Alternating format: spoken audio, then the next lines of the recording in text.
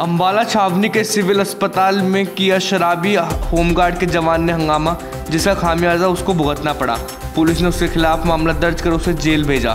शराबी होमगार्ड के जवान का वीडियो हुआ वायरल, जिसमें वो हंगामा करता हुआ दिखाई दे रहा है। वहाँ पर खड़े हुए लोगों ने वीडियो खुद बनाई, लेकिन जवान ने इसकी परवाह न की। अब वो सलाखों के पीछे है। कुमार नाम का एक होमगार्ड का हवलदार है, जिसकी ड्यूटी निगम में लगी हुई है। इसने कल शराब पी करके हॉस्पिटल में मिसबिहेव किया है और शराब पी हुई थी।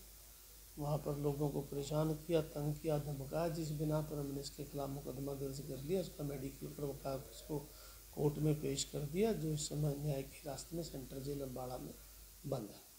गंगनपुर के रहने वाले हैं, मिस्टर वेद है, उनका नाम उनकी शिकायत पे मुकदमा दर्ज किया गया है।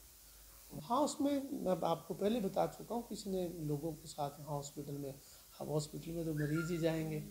उनके साथ मिसबिहेव किया जिस पर एफ़ आई आर दर्ज कर लिया